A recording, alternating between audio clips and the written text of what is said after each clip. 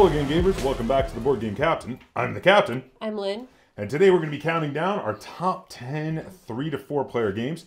So these are multiplayer games that we really think play very well at three and four players. Uh, we had done a much older version of this list years ago with worse sound and such. Uh, and decided to do a update, uh, basically, uh, see how much difference there is between the older version and the and the new version for us. Uh, but at the very least, this will be a much better quality version because it will not have the, the terrible sound and video quality of the much older version before we had our, you know, our high definition camera and our, our better microphone, etc. Okay, um, how is this list for you to make? It was very easy. Yeah, I, I found it pretty easy too. I'm a little worried there's not going to be enough different. There are a few differences for sure, but there's not going to be enough different from my original list. But then again, my original list, like I said, was I don't uh, even remember lower quality. my original list. So. I, there's definitely some on here that are going to be the same, uh, but maybe not in the same positions. But there are some new ones because there's some that definitely we we did not have back Yeah. when we made that old list Yeah. for sure. Um, do you want to go first or second with these? I'll go first. Okay, all right. So without any further ado, I guess we're going to get right to our number tens. Number ten.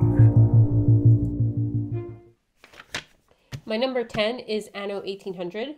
Oh, And this is a a big, um, sort of like, com- like not really city building. It's like a community. you do do a bit of you, well, it's I mean, drafting. yeah, it's you. You draft tiles, and then Yeah. you put them on your board, and it's like you have to. You can only put them in certain spaces, so Yeah. you do need. It's like so you it is like kind of village building, Mm. um, and then you can get extra boards and build on them, and it's a little, uh, a little. Would you say a little bit of engine building too? There's a little engine building, because yeah. you have to get the cards. There's also a little worker placement. Yeah, There's like a ton it's, going it's on. a little bit of everything. yeah, that's a you know this is one um I forgot it existed. Mm. Might have made my list if I'd have remembered it existed. Great game. Uh, yeah, there's a lot going on, a lot of Euro game mechanics. Because Yeah. there's very little interaction. You're all building your own Yeah, stuff. The only I think- interaction is taking the things that someone else might want. Yeah, tha- that's the only interaction. And you can actually, well, there's a thing where you can actually use, um, like the other players, like if they have the ability to make beer, you can use Yeah. use their thing. You just gotta give them, you gotta give them stuff. Yeah, they, they get they get a little bonus for you using Yeah. it basically.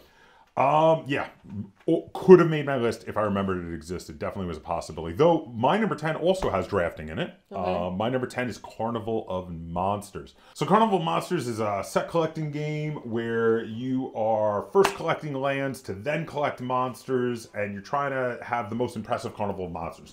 Uh, more valuable monsters are more expensive and require you to have more lands out first to to, to play, pay for them. Uh, but also some of the more expensive monsters require you to have cages or hunt, monster hunters to keep them in line, or they could run amok and lose you points at the end of the round. Uh, there's some press your luck mechanisms, there's some dice rolling, there's some set collecting, there's some drafting, and there's awesome monster artwork. And this game is a lot of fun. This is a really cool game, and it's why Carnival of Monsters is my number 10. Number 9. My number nine is Kodama.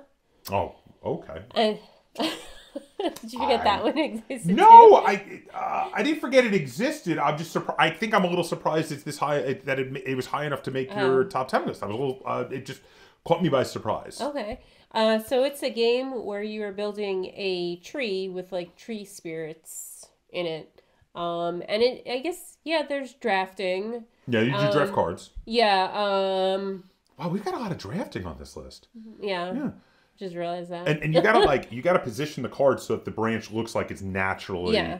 There, growing so off the there's last also branch. like um, placement. Yeah, Um, and then also you're collecting the stuff on the branches. You want Yes. branches with specific items on them. yeah, because you get points based on like like so if if if your There's, main like- trunk of your tree It's like stars is one, and flowers and Fireflies, worms. yeah. yeah. You so you, you score based on one of the things that's been continuing across the most cards when you lay it down Mm-hmm. you can score up to a maximum of 10 points um, based on continuing those symbols but if you push it too far um, you can't score because you can't score more than 10 points yeah.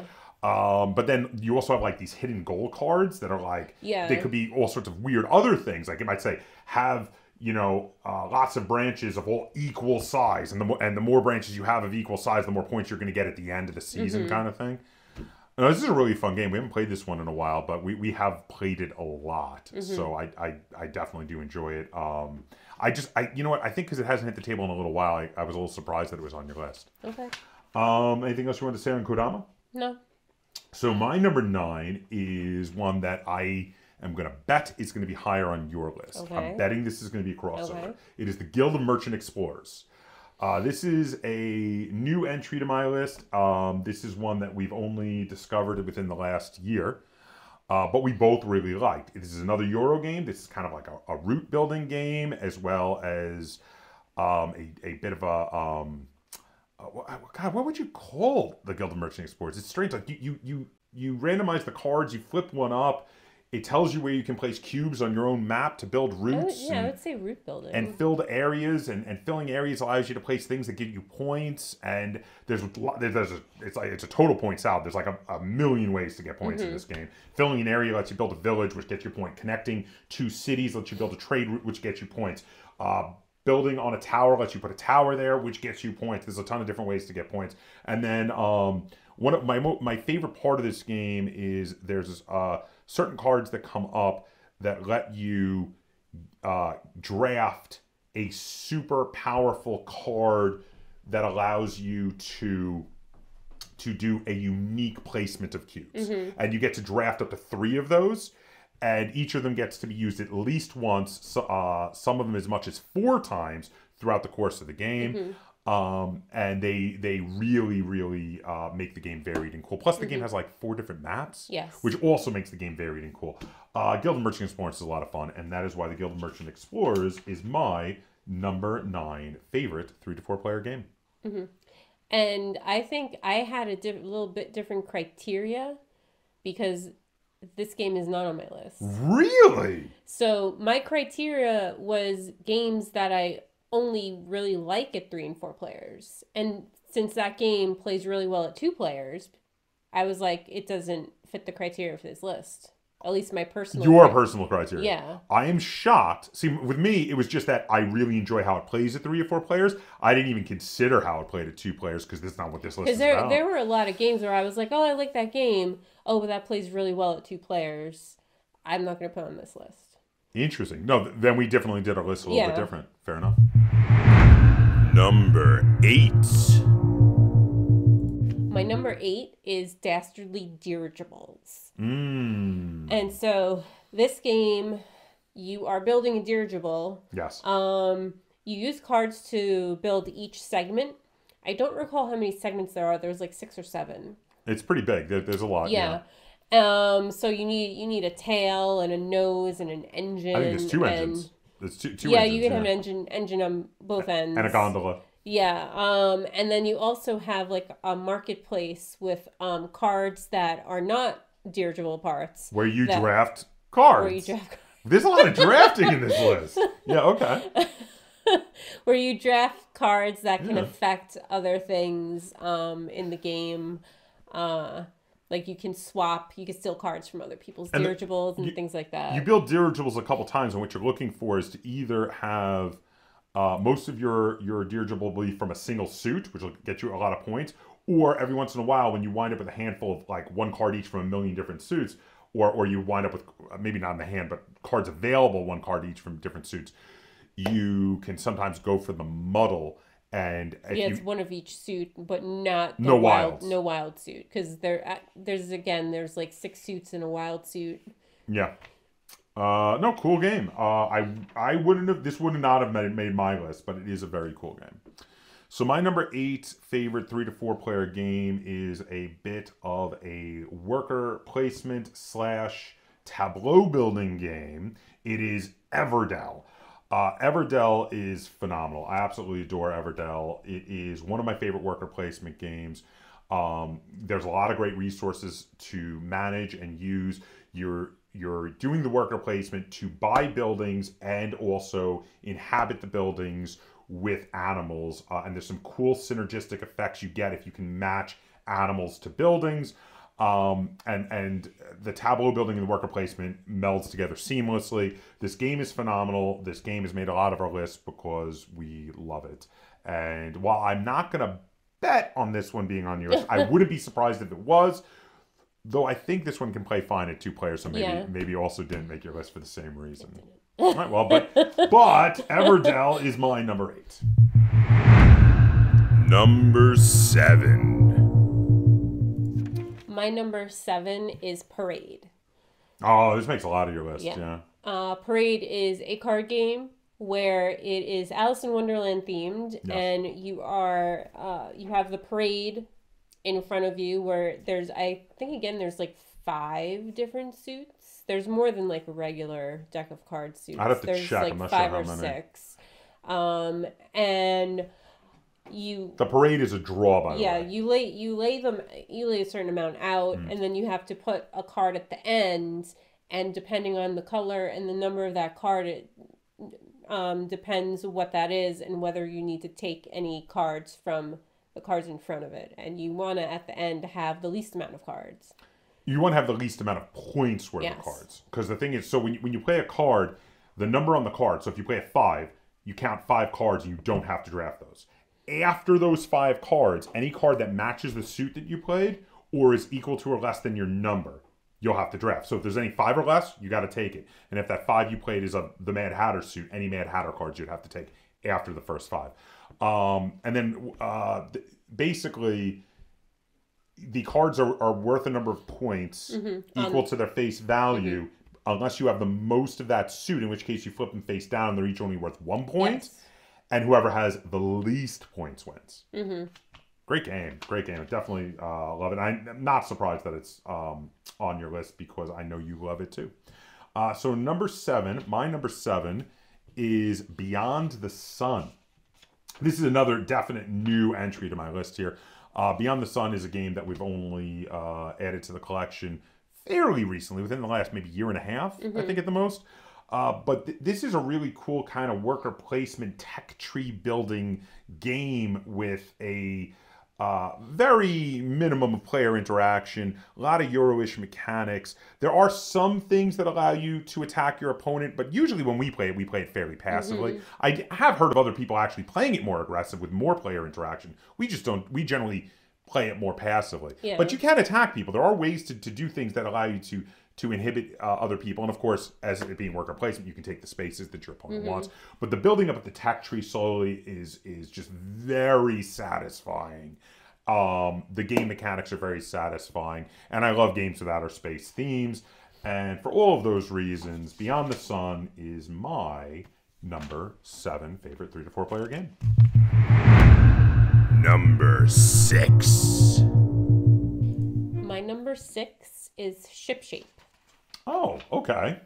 and this is where you have a little cargo, uh, little cargo container, Cargo ship, hold. cargo hold, and and um the it usually has some bad stuff on there that you want to cover up. The rats. There's there's rats on there, so you want to cover up the rats, and what you do is you bid on um, cargo holds in the center that are stacked on top of each other. You bid on draft order to draft Yeah. cargo. You do. we should have done a top ten drafting list. We're, we're, we're halfway there. But yeah, you bid on you bid on, on on draft order for drafting cargo holds. Yeah, because each cargo hold um has different. It's uh the rats are in a different area on them, so no one has the same shape cargo hold basically. And then the cargo holds are you tell them, tell them about the cutouts. Yeah, and they're cut out, so um it's like so difficult to like explain. They've got But- it's, it's a square, and they'll have some areas where they'll have good things on it, like like uh, cannons, contraband, and money. Mm-hmm. And you want to you're looking down through the pile to try to figure out what order you want to go in because you want to draft the right ones that are going to cover up the bad things and show good things. And the thing is, like you want to have contraband, but not the most because the person with the most loses all the points for contraband. Gold is worth points, and then like cannons are worth their points minus the person with the least cannons points. Yeah. So like there's there's some weird play, but basically you go through multiple rounds of this and want to have the most points at the end of the game Mm-hmm. Yeah. from all of your rounds of filling cargo holds. It's also got a really cool like um, catch up mechanic where the people who have the most points get the hardest cargo holds with the most rats on them for the next Mm-hmm. round, which is really cool. This is a very fun game. I like this Mm-hmm. one a lot, definitely. Uh, this has been on a lot of both of our lists. Yeah. Um, what number was that? Was that six? Those six. My number six is an oldie but a goodie. This one's been in our collection for quite a while. Um, it hasn't hit the table in a while, but I want it to. Uh, usually, the reason a lot of our games won't hit the table for a while is just because of all the review copies we get. But if we weren't getting all these review copies, this would be one I would be wanting to play a lot. It is Blood Rage. Blood Rage is an awesome area control game. It's up there as one of my favorite area control games.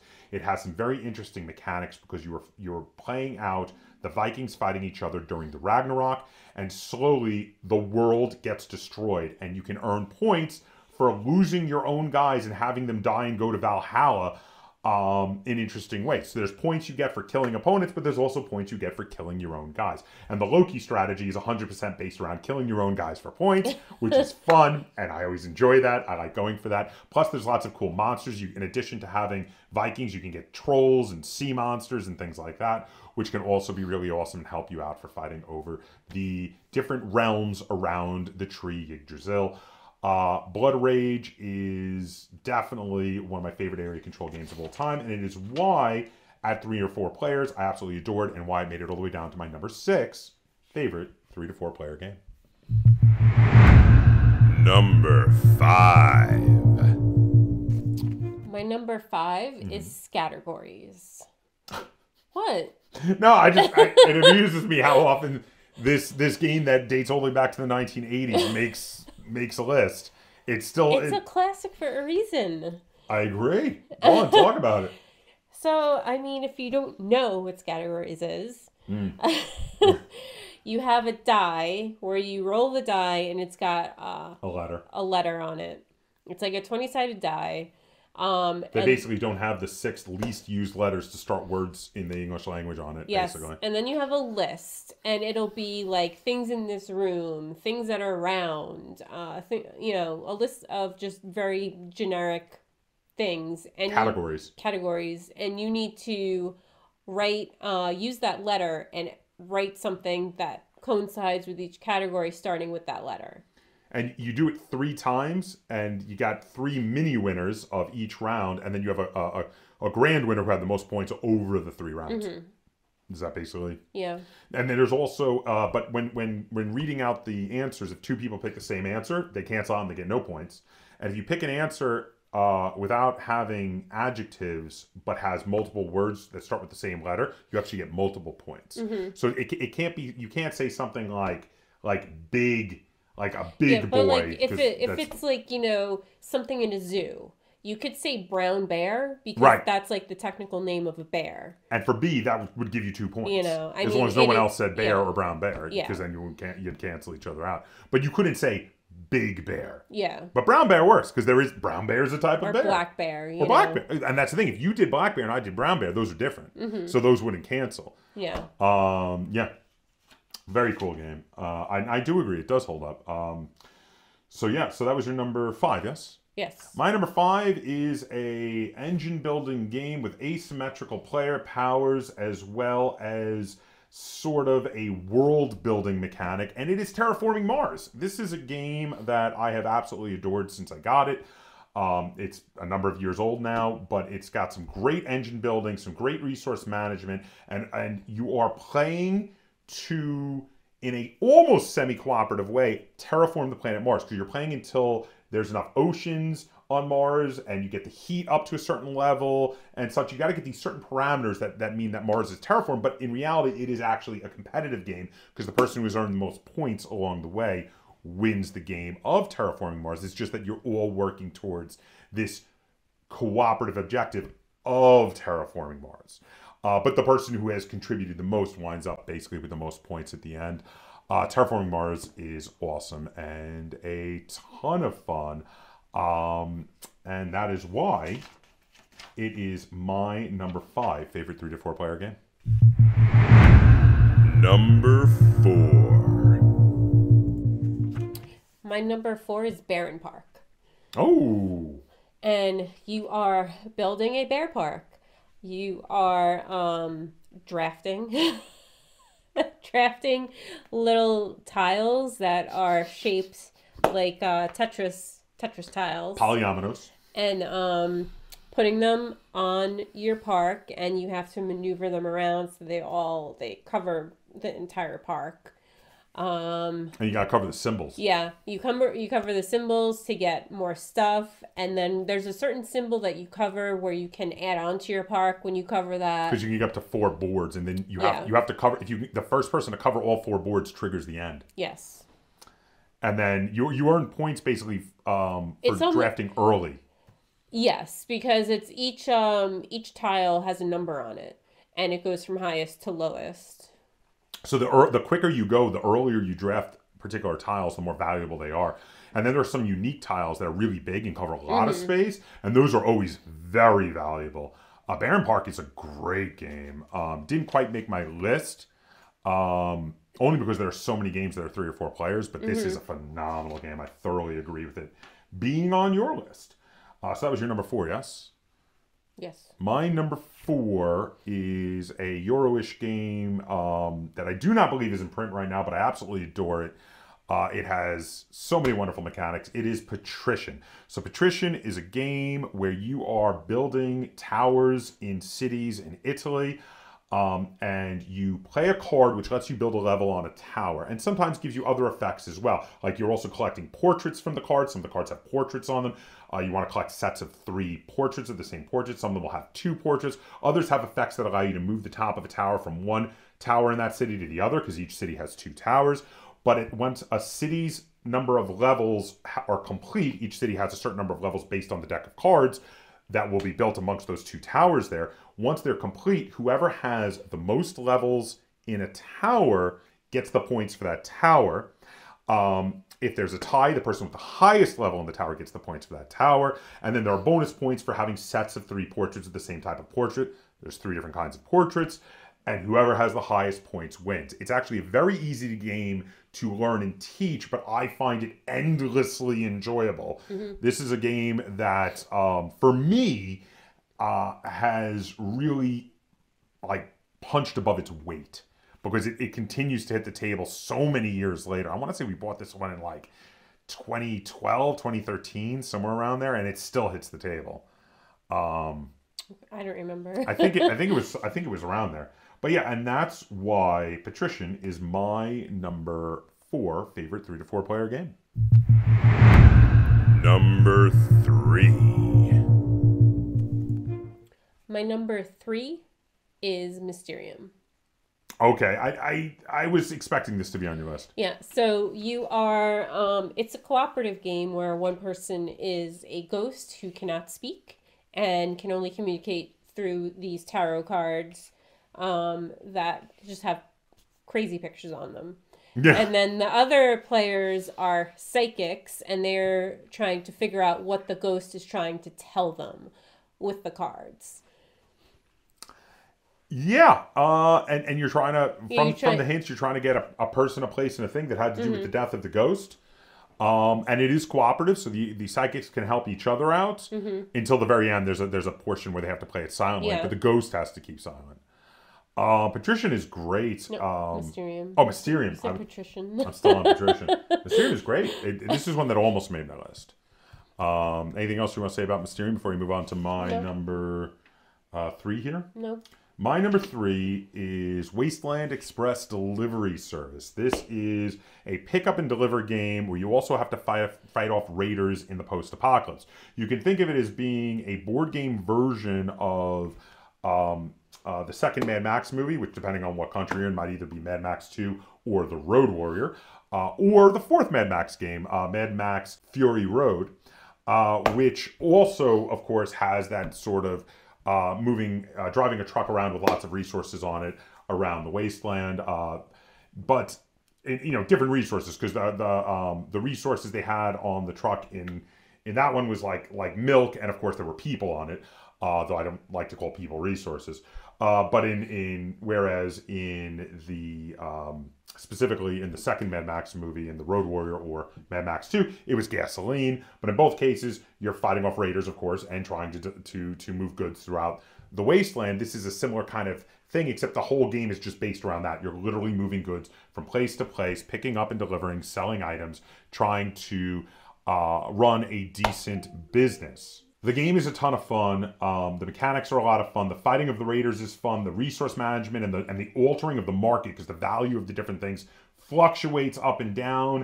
Um, the artwork is amazingly characterful and enjoyable. Wasteland Express Delivery Service is my number three favorite three to four player game. Any thoughts on Wasteland Express? It's fun. Okay. It's on my list. Number two. My number two is Lords of Vegas. I should have known this would be on your list, but I didn't think it would. I, I, I, it, there were certain games on your list that did occur to me. I was like, oh, Lynn's gonna put that on her list, but this didn't occur to me for some reason. But yeah, I know you do love this game. Yeah, so you are building a casino, casino or in or casinos, multiple casinos Mm-hmm. Yeah, on. Uh, you want to be on the Las Vegas Strip, but some of them are off Strip, Yes. and they matter too. Yes. Just not as much as the ones on Strip because they're worth more money. Yes, because when the strip pays, yeah, absolutely, absolutely. So you yeah you're you're building up your casinos and you're trying to buy uh, um, empty properties and Develop them. and develop them and hostily taking over other people's casinos. that part's great. I love that part. Um, yeah, Lords of Vegas is, is a really cool, really cool game. Um, I saw it's back in print actually. A smaller company's picked up the rights, and is printing it again. Lords of Vegas is a really cool game with a, lo- a lot Didn't of they rename it? no, it's still called Oh, Lords of. Vegas. It's just a smaller company picked up the rights and is, is doing it now. Must have bought it off because I think um, the rights are currently owned by Asmodee, but um, um, must have they must have uh, rented them, licensed them. That's the word I'm looking for. Yeah, licensed them out. But yeah, fantastic game. Love Lords of Vegas. Really, really good game. Uh, anything else you want to say on Lords of Vegas for your number two there? No. So my number two is I'm just checking here. I think it's the oldest game on my list Okay. uh, because this one we originally played the original version with a slightly different name way way back in the year 2000 this is catan starfarers formerly called starfarers of catan uh, this is my favorite version of catan this is one of my favorite um, like economic style games. It is one of my favorite three to four player games. It is a phenomenal game where you colonize worlds. You you you go out you encounter pirates and merchants and and buy technologies and send your ships out to colonize different planets uh, to gain new resources to build new ships. And you know you want to have uh, the most successful get the most points uh, for doing all of this which you get points for making space stations for uh, doing certain other things throughout the game you want to get the most points the quickest Killing killing pirates. killing pirates things like that because you do fight off pirates Mm-hmm. um, it is- Terraforming planets. Terraforming Planets. It is amazingly fun. This is an amazingly fun game. Um, Catan Starfarers is my number two favorite three to four player game. Anything you want to say on Catan Starfarers? No, it's fun. It's not on my list. Really? Yeah. I was thinking it was about to be a crossover. Oh, really? Yeah, I guess not. And now it is time for number one. It's a game on my list. It's number one that you always complain that I work it into every list as my number one. I know what it is then. I, well, hold on, hold on a second. Okay. I I think I know Uh-huh. what your your your favorite three to four player game is because it won't be it won't be Tales of the Arabian Nights because you love it at two players. Mm-hmm. It will be Bill and Ted's excellent board game. Yes. Bill and Ted's excellent board game is my number one three and four player game. Yeah. you do work that into a lot of lists. I do. So it's a programming game. Mhm. So you program where your character or your phone booth is moving Yes. um, before, um, you know, at the same time as everyone else. And then you flip it over. And then the person with the lowest number moves first. the, yeah, the lowest number card. Yeah. But then their cards also move the bad dudes. Yes. So depending on where, if you don't go first and the bad dudes move, they could completely mess up your entire turn. Yeah, it becomes very brain burning because if you, if uh, you're trying to go around the board and pick up the historical figures for the history presentation, but if you if you and if you've ever seen Bill and Ted's Excellent Adventure, you know what I'm talking about. This is the entire plot of the of the movie is, is them going around and picking up historical figures for the history presentation at school.